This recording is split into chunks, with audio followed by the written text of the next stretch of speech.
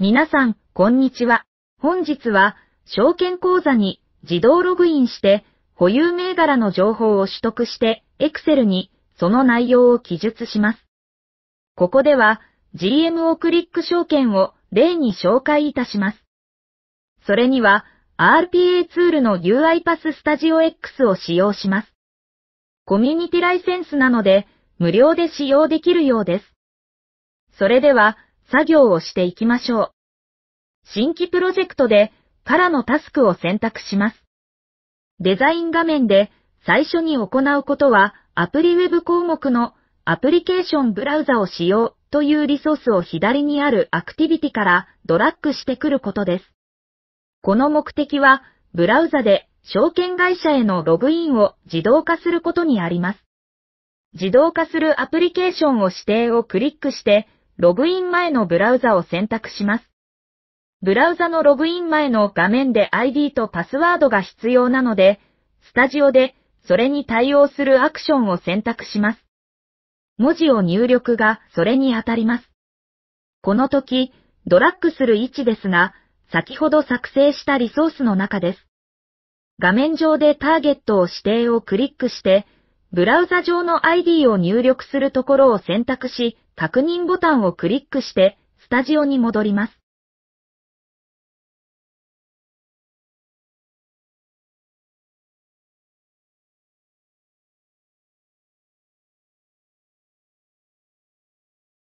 パスワードの方も同様にして作成します。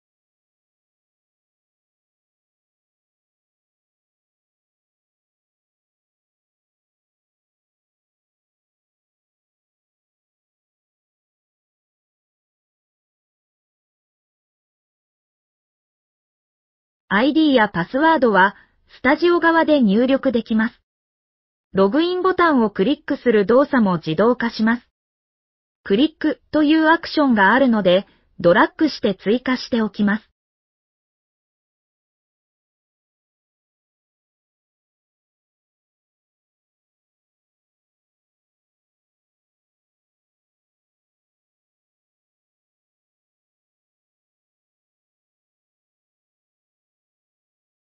スタジオで ID とパスワードを入力します。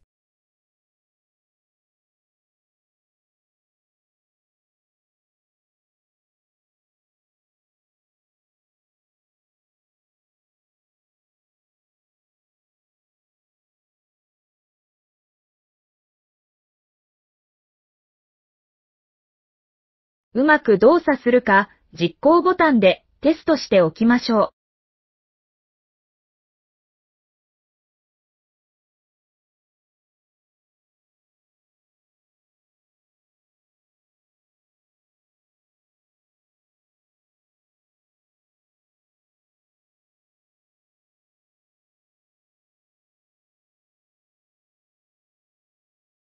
ここまでが証券会社に自動ログインする工程です。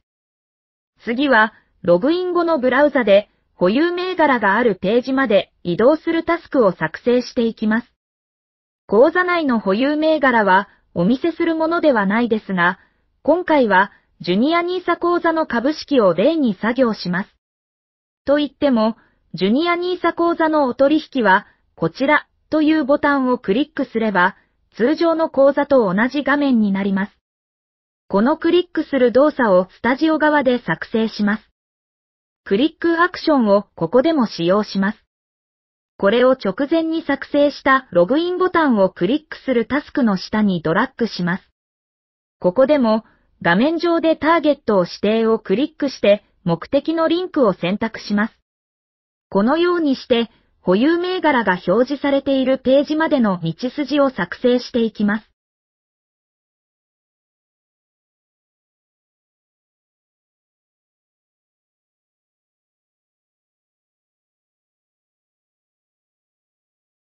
保有銘柄一覧のページでは、この内容を Excel に転記するタスクを作成していきます。4銘柄保有している状態ですが、25件以上あることも想定するので、全銘柄を1ページに表示するタスクを作成します。スタジオでは、項目を選択というアクションで、これが可能になります。名前の通り、ブラウザのコンボボックスやリストボックスで項目を選ぶときに対応したアクションです。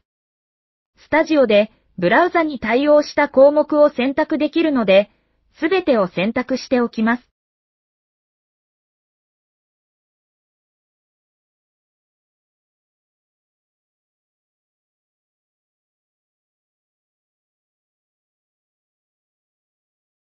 さらに、検索ボタンをクリックして全銘柄表示するタスクも作成します。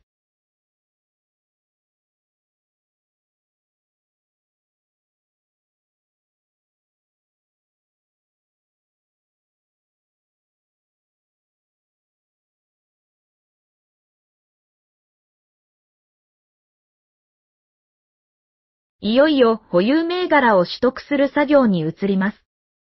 最初はテキストを取得というアクションで株価コードを取得しようとしていたのですが、アンカーの設定があるなどして複雑でした。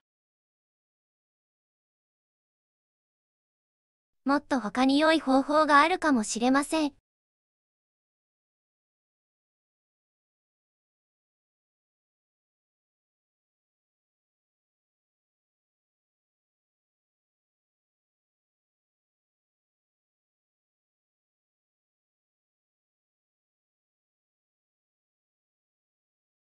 そこで試行錯誤した結果、表データの抽出を使用することにしました。画面上でターゲットを指定をクリックすると、テーブルエクスクションウィザードが表示されます。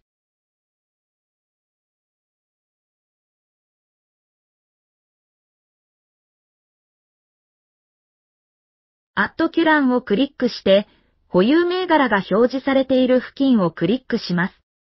ここでは、コード番号をクリックしました。すると、表からすべての列を抽出しますか？と出るので、はいを選択します。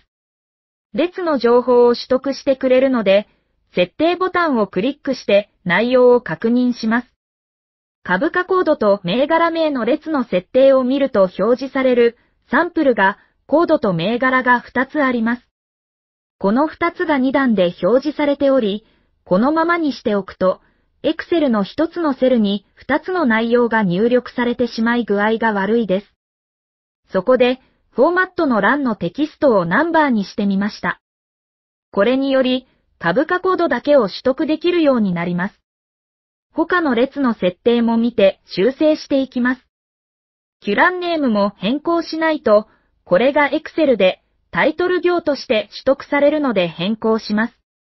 不要な列は削除します。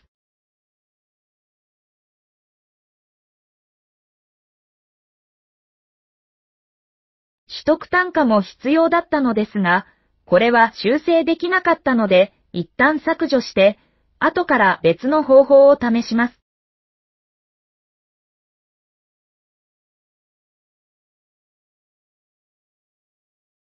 ここで、コード、数量、取得日を抽出します。不得ができなかったものは他の方法を試します。Excel の機能で不得したデータを修正する方法もありそうです。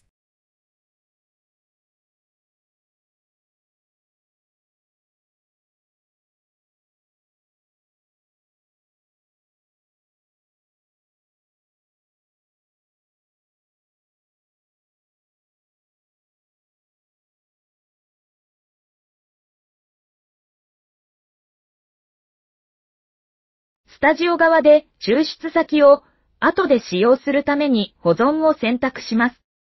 これに名前を付けて保存します。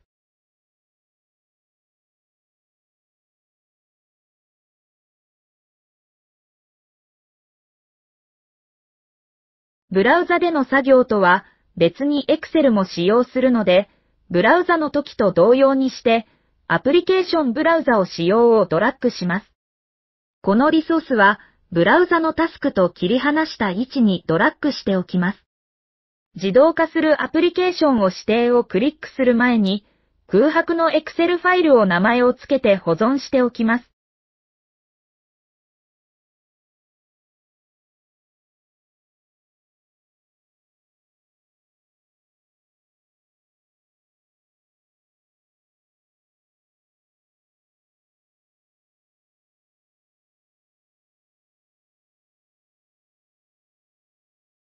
その後に、この空白の Excel を指定します。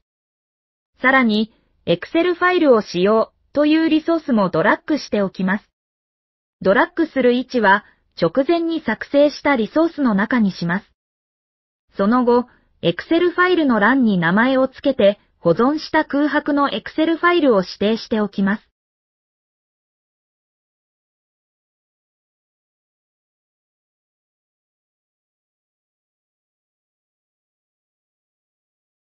これで、ブラウザで取得した表のデータを Excel に転記する準備が整いました。それを実現するために、範囲に書き込みというアクションを追加します。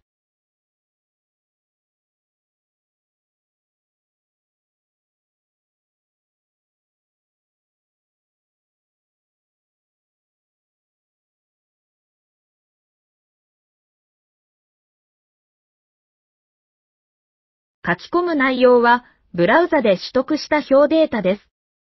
保存された値を使用に、この内容があるので、選択しておきます。表示先は、Excel の任意の場所を選ぶことができます。ここでは、A1 にブラウザの表データを表示します。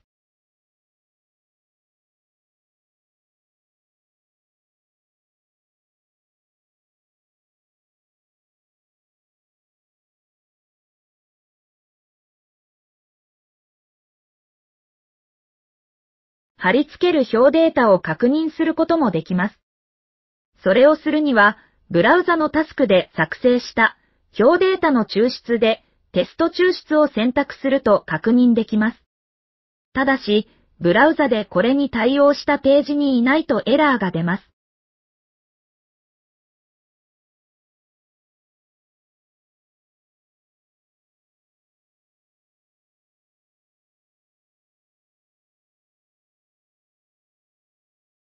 先ほどは表データの取得において、取得単価をうまく修正できなかったので、このタスクの下に追加します。テキストを取得というアクションを追加します。画面上でターゲットを指定をクリックして、ブラウザ上の取得単価を選択します。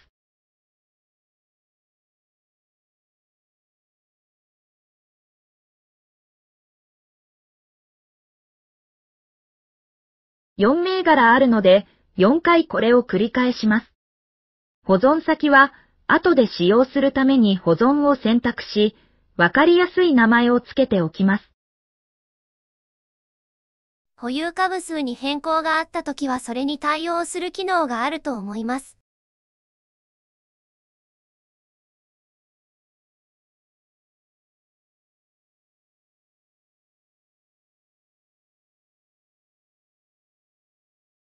これらも Excel に転記します。Excel に転記された表データの右に転記しようと思います。セルに書き込みというアクションを表データを転記するアクションの下にドラッグします。書き込む内容と書き込む場所も忘れずに記入します。書き込む場所は Excel の D 列にしました。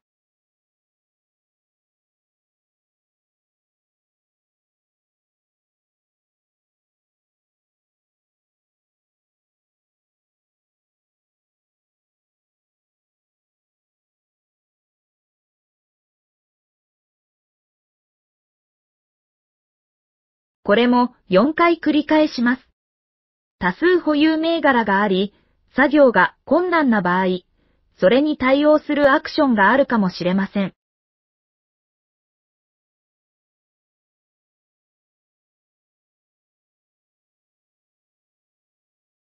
ボックスをコピペして編集することもできるようです。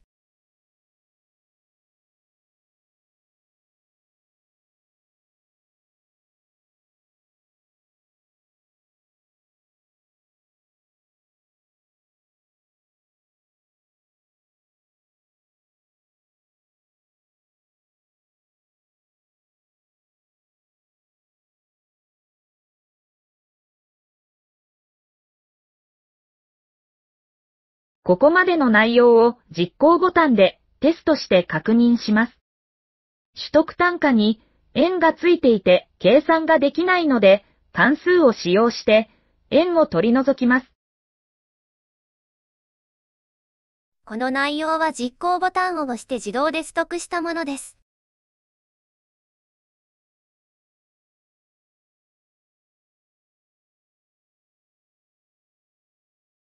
あとは、マーケットスピードの RSS 関数を使用して、損益などを出します。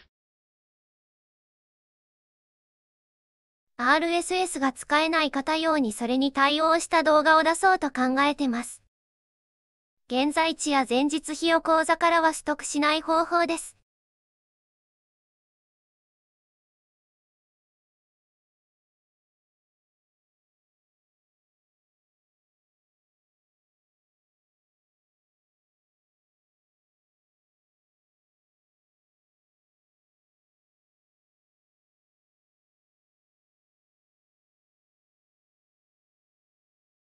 これでリアルタイムに確認できます。